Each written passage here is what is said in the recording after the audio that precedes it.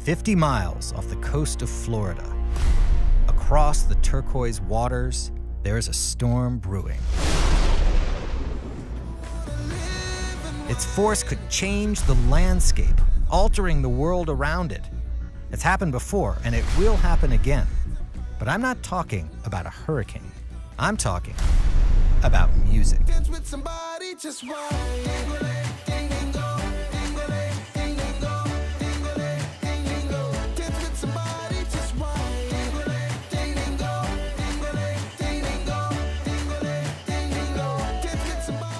This is the birthplace of Rake and Scrape, Junkanoo, and Goombay. This is where rhythm and rhyme collide. This is the Bahamas.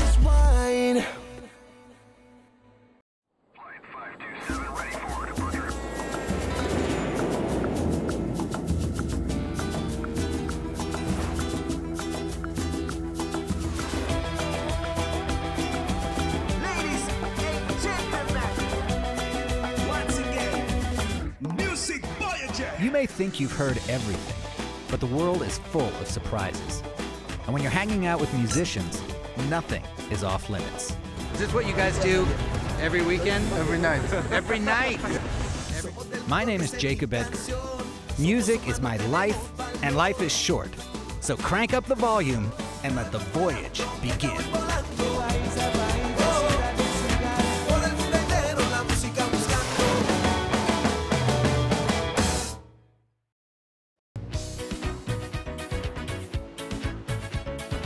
You know the expression, big things come in small packages. And that's certainly true in the Bahamas.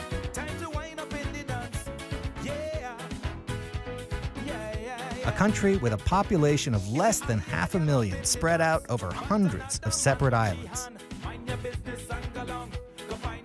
But when people come to visit, they always bring a little bit of the Bahamas home with them. Oh my God. That is so oh, good. It could be just memories or photos, a tacky t shirt from a souvenir shop, or it could be a rhythm, a melody, a song.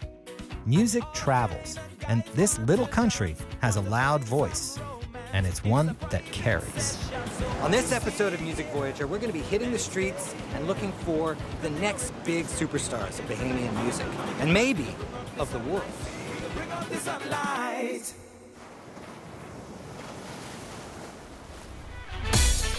I start my exploration in Nassau with the Bahamian musician Fred Ferguson. So here we are. This is downtown Nassau. It surely is. You want to show me around? We can talk a little bit. I will do my best. Fred's career has straddled numerous musical eras and genres. He was a member of the Baha Men, one of the Bahamas' most successful bands, and he's an in demand funk, soul, and disco guitarist and producer. We walk to the Straw Market on the world famous Bay Street. So what do you have to drink? I have the authentic Bahamian Gourmet Punch. Ooh, that sounds good. Here it Gourmet is. punch. It's in a bottle and it's a can. You can't go wrong with a um, soda that has a face on it. It turns out Fred looks to Bahamian roots music for his biggest inspiration. Joseph Spence is my ultimate folk guitar hero. He developed a style that has resonated around the world. He brought a fire to this thing that still behooves all of us. I try to play that, I tell you now. I play it nothing like what he does. What he did with a thumb and two fingers and that drop D thing and all the rhythmic stuff that goes on between it is, is I can't explain that stuff. Two, three, four, five.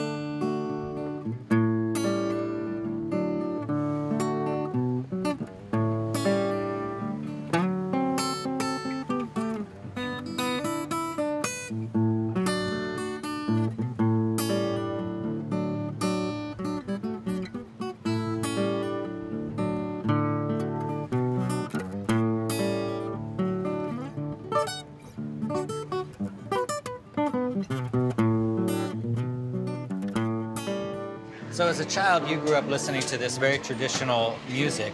It, while it's inspired by tradition, it's also pretty contemporary. Ronnie Butler Tell came me who along. Ronnie Butler is. Ronnie Butler came along and became the pop rake and scraper. The progression continued through Baha Man and Dr. Off and others.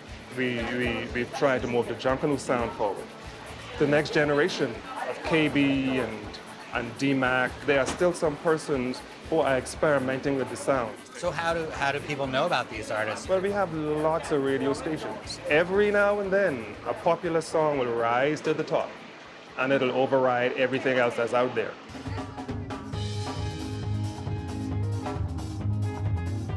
As Fred and I walk through downtown Nassau, we hear tropical melodies wherever we go. It's clear this city has music in its soul. You know, there's an energy here, Jacob. There is an energy. When you walk this, you can feel it. You know, it's, it's something that the Bahamas just, especially Nassau part of the Bahamas, if you went to the islands, it'll be a different energy, but it'll still be that Bahamian, exciting, you know, yet peaceful kind of energy. And always with a little bit of music in the background. Always, well, see, this is my friend coming up to Is the. somebody you know? Yeah, of course. I, pretty, I think I know them all. Well, look, I brought my little Portuguese braguinha here. What's a good local song? I heard when you pulled up here, you were listening to some Andre Toussaint. Andre Toussaint, Yeah, yeah. and it's called Calypso Island. Oh, I love that song. Yeah, I saw you dancing to it and when you pulled up. Ah. Little Rican straight. Two, three, and Calypso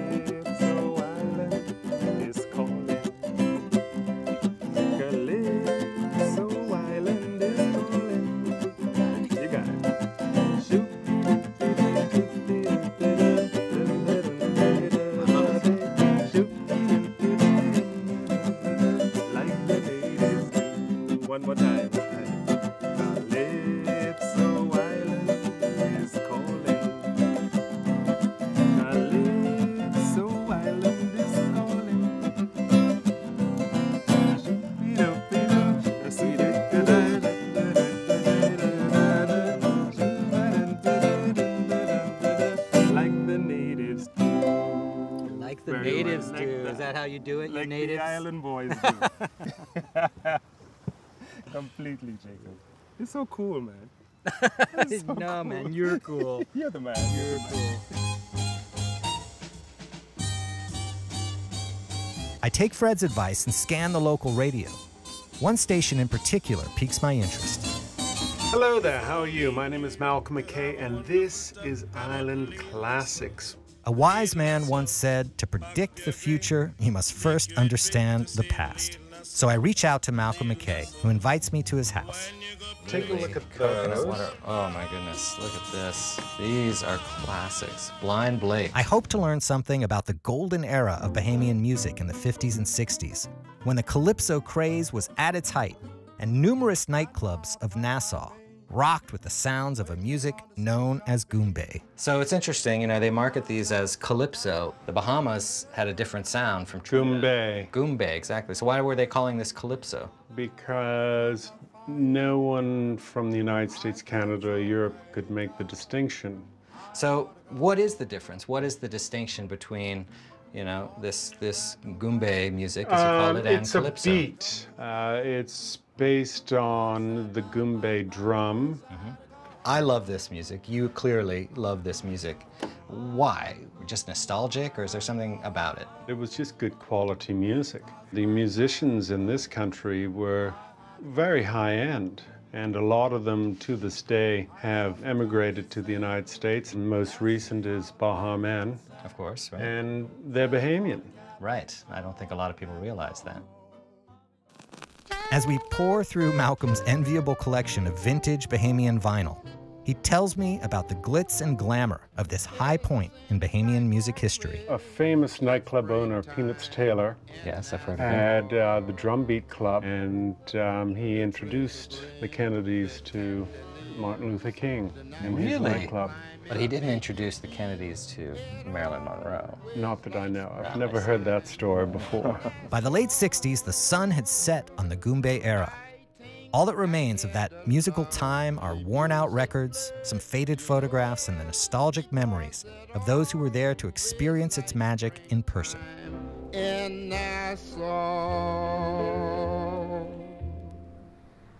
By the 70s, a new sound and style started to take the Bahamas by storm.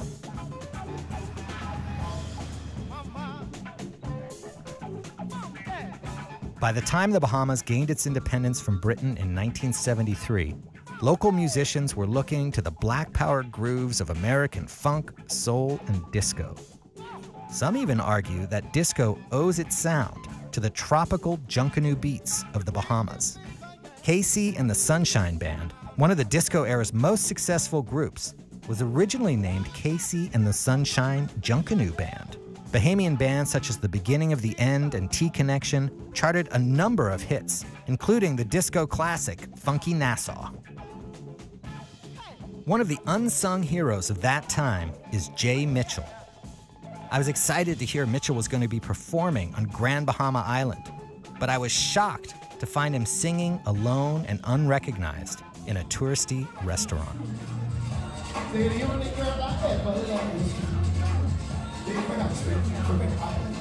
Mitchell has been compared to James Brown, Otis Redding, Teddy Pendergrass. And there was a time when he was managed by Michael Jackson's father, Joe. His rare classic vinyl is highly prized by collectors. Probably most of the people, probably all of the people, they walk in, they hear you playing, and they don't realize what an amazing talent they they, have there, yeah, yeah, yeah, and well- what history you have, and how important you are to the music scene in the Bahamas. Yeah. Well, the Bahamians do, but not the tourists who walk in. Right. But you know, in the Bahamas, you, you got to find a pocket to sit in. You got to So- make your living too. I learned in life that that uh, the vibration goes in circles. It moves, it moves, and uh, when you pick what you're gonna do, you wait a while and you ride on that a bit.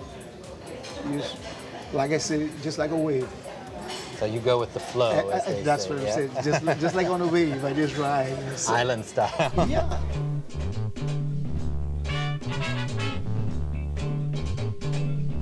Waves of Bahamian music have washed up on the shores of the U.S. over the years.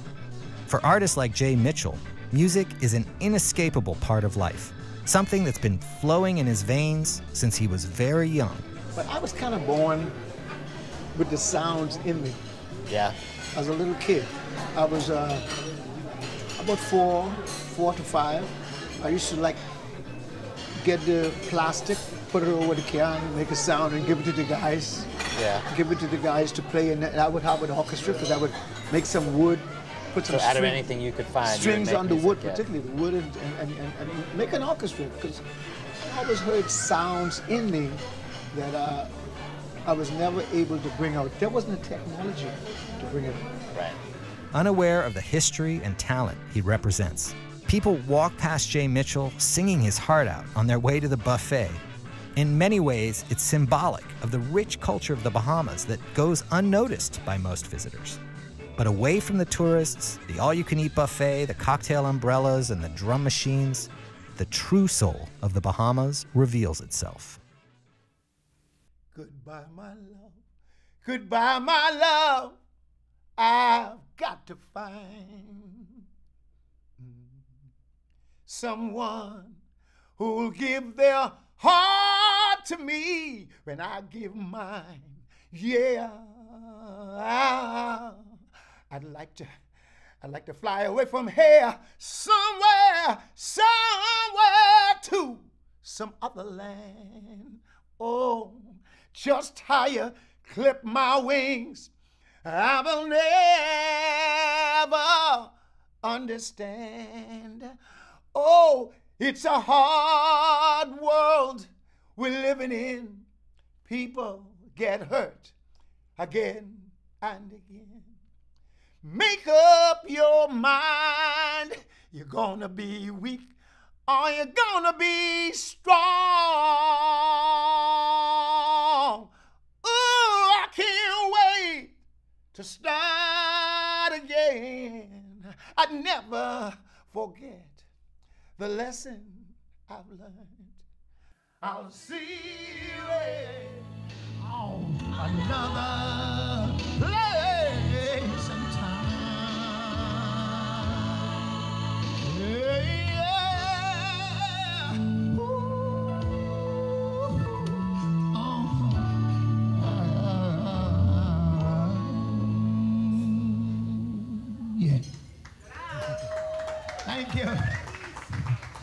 you so much. Thank you.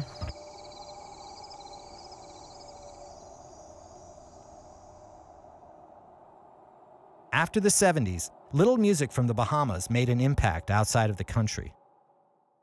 But that silence was broken in the year 2000 when a group called the Baha Men unleashed the song Who Let the Dogs Out and crossed over to the international pop charts. Even though we, um, we're mainly doing pop music, the whole sound is based around Junkanoo. While they've always tried to bring the sounds of the Caribbean to the mainstream, they never would have predicted the massive success of their iconic hit. Were you surprised when that song became as big of a hit as it did? Man, if someone had said that to me, I'd have said, no way. Do you feel like that has been the best thing that ever happened to your band or the worst thing that ever happened to your band? Um, to me, it's a double-edged sword.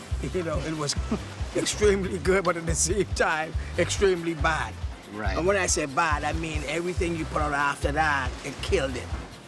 And you also have that song as being perhaps one of the most loved and perhaps one of the most hated songs of all Yes, time. too. yes. Hated because of the success. Because it's so popular and it's mental glue. You cannot get it out of your head once you start having it in your head. Yes, it just you're right, sticks there. because I have actually heard people say, if I hear this song one more time, But the Baha Men are more than a one hit wonder.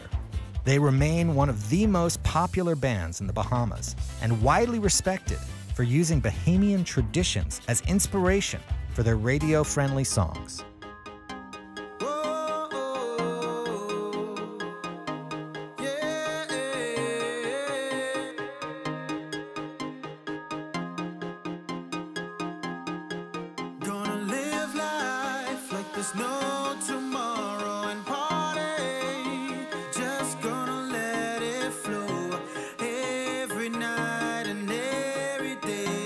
What's been happening with the Baha Men in the last 10 years? rehearsing, getting material together, you know, pre- just preparing ourselves to get back into the studio. I've been partying.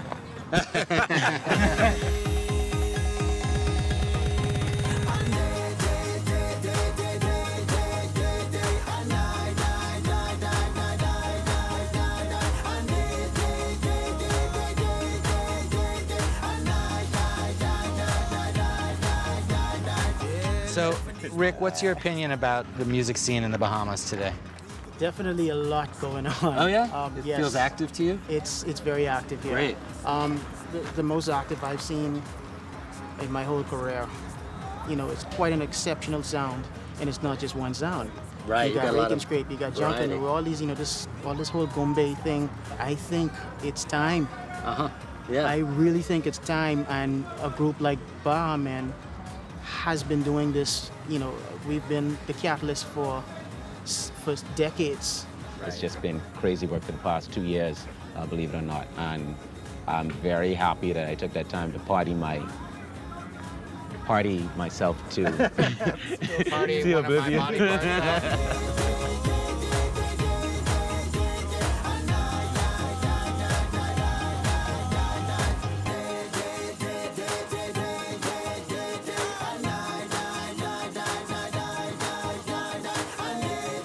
I gotta ask this question, guys. Who let the dogs out? Who really let them out? Not again. Oh, no. I mean, it. I, I didn't mean it. I mean, I just had to ask. Well, some questions deserve to go unanswered. But I still want to find out who is the hottest voice of the new generation? Who is the undiscovered Bahamian talent on the cusp of becoming an international star?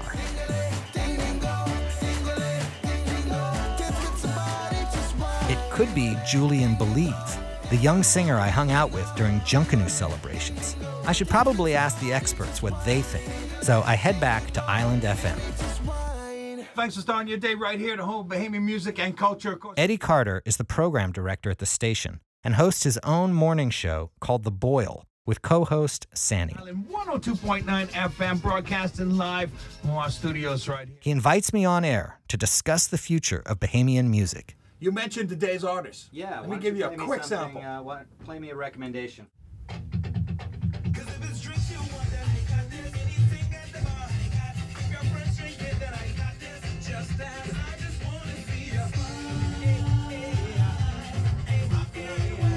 So that's an artist right there called Dylan McKenzie. D-Mac. D-Mac. As he's known in the industry.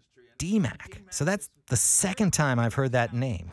The next generation, DMAC. Is it possible I've been on the trail of the next Bahamian superstar this whole time? You hear the sound of that now. If you hear, listen to traditional rake and scrape, you hear a lot of those elements there. But you're hearing more of a, a modern sound. It's pumped up. Yeah, it's a, a- that's a good way to say it. It's a pumped up, very, very, yeah, on the low absolutely. but you still hear the scrape. You feel it. Absolutely. Yeah, and you're seeing that a lot from Bahamian artists today. The guys coming up, like your D-Max and all of those. All right. I think it falls on them to take it to that next level. And so, with that advice, I reach out to DMAC, who tells me to meet him at one of his favorite spots. We're gonna get some authentic Bahamian music. We're gonna get some authentic Bahamian food right here on Potter's Cay Dock in the Bahamas. We hit Skinny's restaurant on Potter's Cay for some of the freshest conch you can find. I can't say that looks very appetizing, I'll be honest. Not now. No, but you're Not gonna make now. it beautiful. I'm gonna make it beautiful. I can tell you've done this a few times. Here we go. Skinny conch salad. Ah. Mmm. Oh yeah, I'm ready to go, man. You just ate the giant snail. Where are they? Where are they? Now this one here is the killer right now. When you see this play at any parties in the Bahamas, this is what our music is all about. This is called the Golden Song. It's a story behind it. I'll tell you about it. But, so here goes now. One, two, three, what's it? Said she promised she gonna marry me. Oh yeah. She run away. Man, she promised she be faithful to me. Oh yeah. She scheme on me. Man, this girl take all my money. Take my car. Oh yeah. My virginity.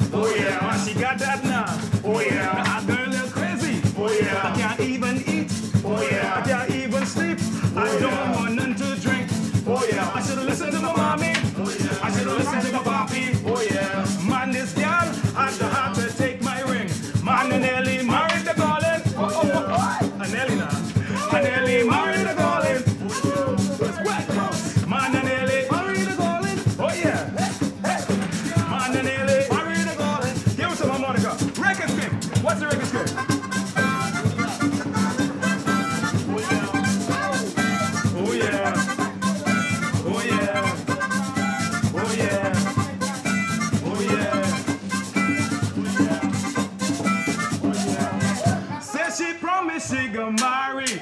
Oh yeah. It's clear from DMAC's modern take on Bahamian rake and scrape music that both locals and foreigners love his sound.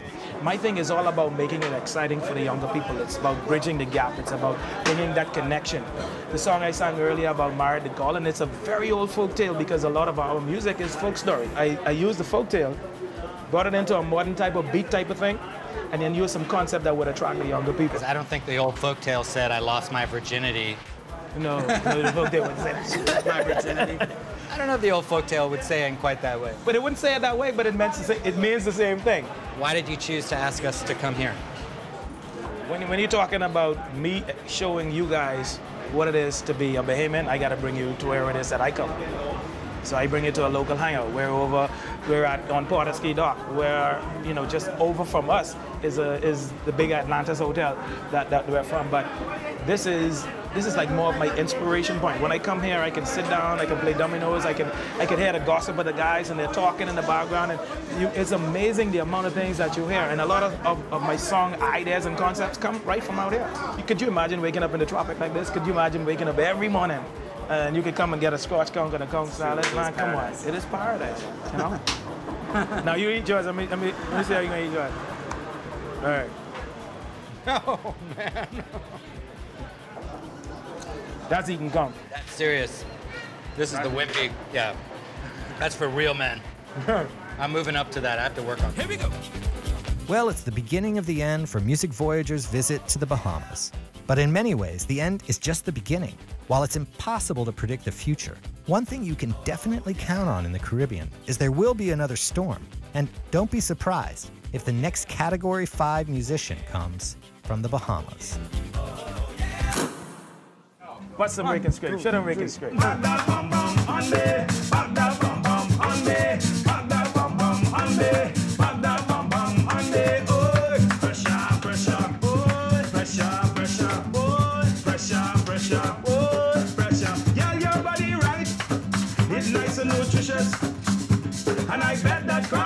is very delicious.